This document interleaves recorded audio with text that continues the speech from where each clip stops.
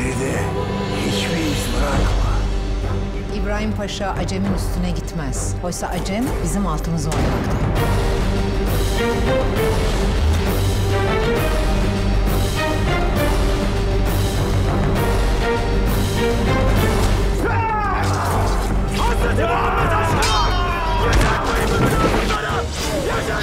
Babama sözüm vardı. Gördüğüm yerde kelleni almaya yemin etmiştim. Allah şükür çıkardı karşıma.